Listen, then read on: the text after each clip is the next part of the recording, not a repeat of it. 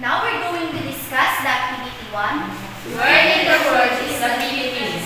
Part 1. And our objective, after performing this activity, you should be able to describe the location of the Philippines using latitude and longitude. Ang kakailangan natin, kailangan natin ay ang ito. And our procedure are first, study the image of the globe on the right. Then, get a read globe and identify the parts that are labeled in the image. Be ready to point them out when your teacher asks you. So, identify natin yung mga parts na ipinapakita dito sa image, sa libro, and hanapin natin dito sa globe. Dito sa globe, dito sa globe, ipinapakita ang equator.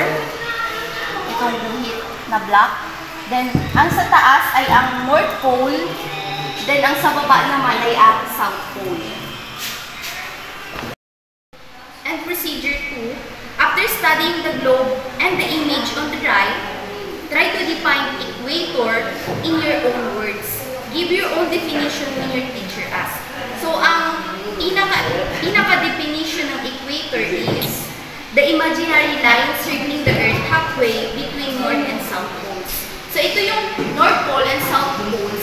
So, yung nasa gitna nila, ayun ay ang pinatawag na equator. Procedure number 3. The Northern Hemisphere is that part of the world between the North Pole and the equator. Show the Northern Hemisphere on the globe when your teacher asks. So kapag tinanong kayo ng teacher as, ang Northern Hemisphere, ang Northern Hemisphere ay yung gitna ng equator din ng North Pole. So dito banda yung Northern Hemisphere. Where is the Southern Hemisphere? Show the Southern Hemisphere on your globe when your teacher asks you. Na Northern Hemisphere. So, yun ay ang gitna ng equator, then ng South Pole. So, dito yun. So, pagkatapos ng procedure natin, sasagutan naman natin yung question. Question 1. Describe the lines of latitude. Describe daw natin yung lines ng latitude based dun sa sinabi ko kanina. Diba yun ay ang horizontal na line sa globe. Next. Show the latitude on the globe when your teachers ask you. So, ituturo nyo lang dito sa globe kung alin yung latitude. Siyempre, ang ituturo nyo ay yung horizontal na line. And procedure number 4 is study the drawing on the right. It shows the lines of latitude.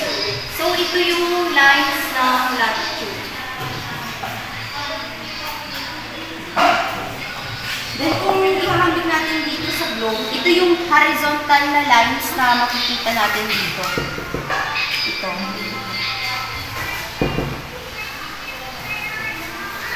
And latitude is the imaginary lines on the map or globe that measure distance in degrees north or south of the equator. Latitude lines extend horizontally from east to west on the globe. So, east to west, so papunta dito yung line, horizontally. Question number 3. The starting point for latitude is the equator. The equator is latitude 0 degrees. At the North Pole, the latitude is 90 degrees north. At the South Pole, the latitude is also 90 degrees south. Show the following latitude when your teachers call you. 15 degrees north, 60 degrees north, 30 degrees south, and 45 degrees south. Dito, sinasabi ng equator ay ang simula ng latitude na 0 degree. At papunta dito sa taas, sa North Pole, ay ang 90 degrees north. At sa baba naman ay ang South Pole na 90 degrees south. So dito ang hinahanap ay ang 15 degrees north, then 60 degree north. Hahanapin natin dito sa parte dito kung nasaan ang 50 degree and 60 degree. Dito naman sa baba, hinahanap ay ang 30 degree south and 45 degree south. Question number 4. The globe does not show all lines of latitude. If you wish to find 50, 50, 50 degrees north, where should you look? So, sa question number 4, sinasabi na ang globo ay hindi pinapakita ang lahat ng line ng latitude. So, kung ikaw ay yung hinahanap ay ang 50 degrees north, saan mo daw dapat yun hanapin? Sa taas or sa baba? At saan dito? Saan bande din? Next, study the drawing on the right. It shows the line of longitude. longitude. So, kanina ipinakita ay kung ano ang latitude. Ngayon naman, tatalakay naman natin ay ang longitude. Question number 5. Describe the lines of longitude. So, dito, kung ang la- latitude ay horizontally, ang latitude naman ay ang vertical lines na makikita sa imaginary lines on the map or globe that measure distance in degrees east or west of the prime meridian. Longitude lines extend vertically from pole to pole on globe. So, kung ang sulat nga na sinabi ko, kung ang longi- latitude ay horizontally, ang longitude naman ay vertically. So, magkabaliktaran. Question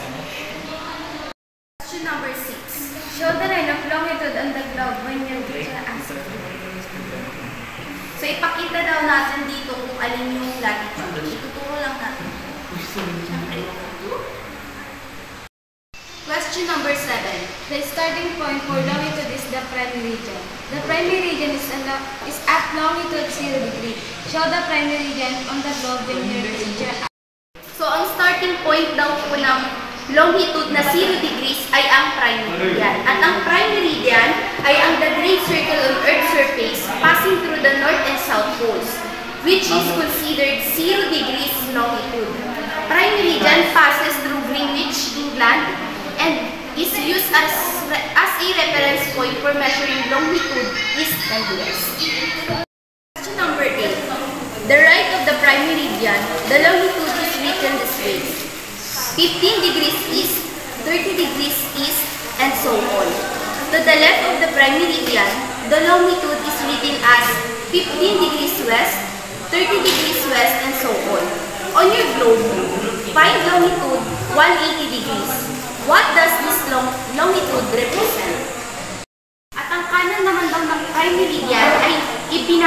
ay binabasa sa paraang 15 degrees east, 30 degrees east, and so on.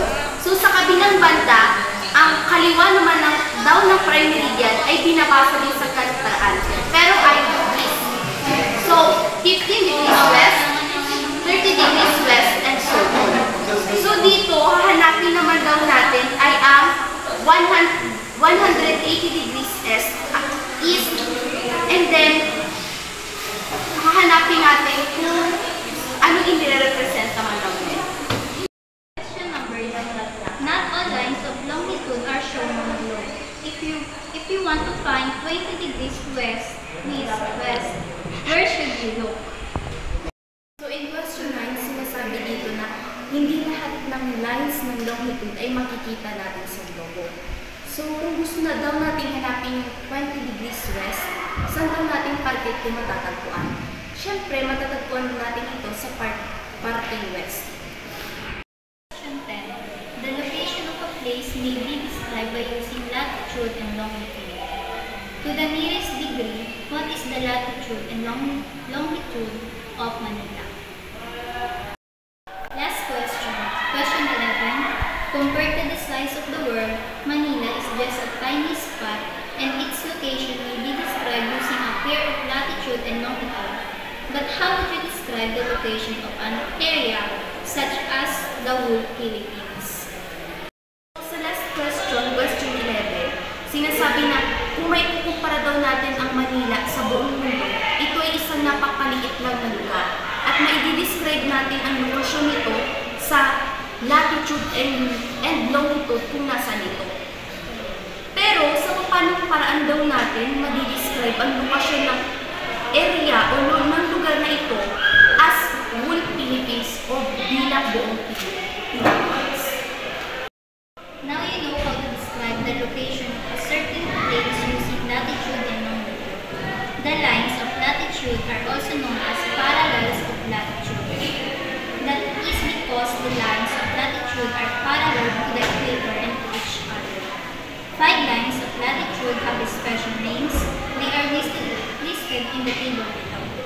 Latitude values have been rounded off to the nearest degree. So ngayon alam na natin kung paano i-describe ang isang lugar or location nito gamit ang latitude and longitude. And the lines of latitude are also known as parallel. So mas kilala ito bilang tawag na parallel of latitude. At dahil dito, ang latitude or guhit ng latitude are parallel to the equator and to each other. So ang bawat latitude ay ay nakabase sa equator. And ang parallel means guhit na hindi pwedeng magtakbo. There are five lines of latitude and may special names po ito. So ngayon, so ngayon naman po ay matatalakay natin ay ang limang lines, different lines of latitude. First ay ang equator. Itong buhit pong itim na ito, equator. And 0 degrees po ang equator. Next ay ang Tropic of Cancer, which is 23.5 degrees north. So, ang Tropic of Cancer ay dito po natin makikita sa parting taas or north pole. Ito po yun, 23.5 degrees.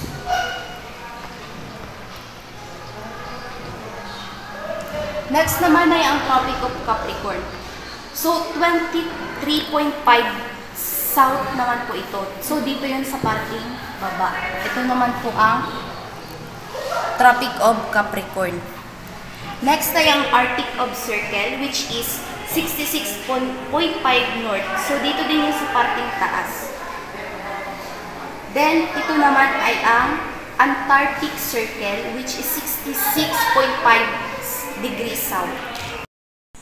Get the globe and find the tropic center and the tropic of Capricorn. Trace the two lines of latitude with a red chalk. The part of the world between the two chalk lines is called the tropics. Countries that are located in the zone experience a tropical climate where the annual average temperature is about 18 degrees. Now, find the Arctic Circle and the Antarctic Circle on the globe. Trace them with blue chalk. Between the Tropic of Center and the Arctic Circle is the northern temperate zone. Between the Tropic of Capricorn and Antarctic Circle is the southern temperate zone. Countries in the zones go through four seasons, winter, spring, summer, and autumn. Finally, the areas within the Arctic Circle and Antarctic Circle are called the polar regions for Sea.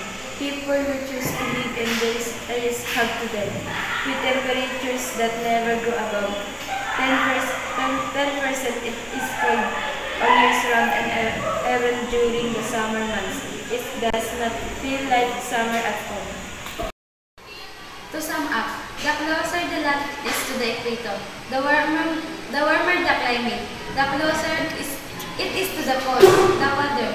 Thus, it is clear that there is a relationship between the latitude of, of a place and the climate it experiences. And you will find out why in the next module. Land masses and bodies of water. Using latitude and longitude is not is not the only way that area. Another way is is by identifying the land masses and bodies of water that, that are found in that area. So what so what are the land masses and bodies of water that surrounded the Philippines? Do the following activity and get to know surrounding geography.